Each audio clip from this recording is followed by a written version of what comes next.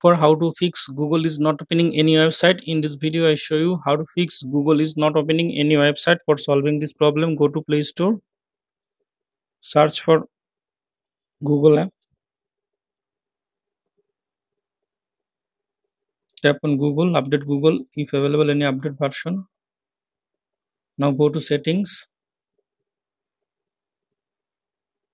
scroll down then go to apps now tap on three dot. Now tap on reset app preference.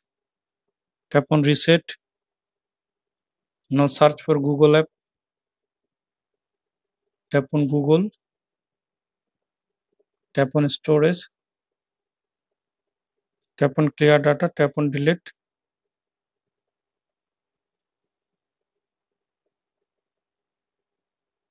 Now open google now search.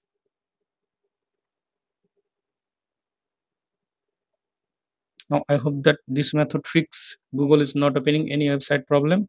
Thanks for watching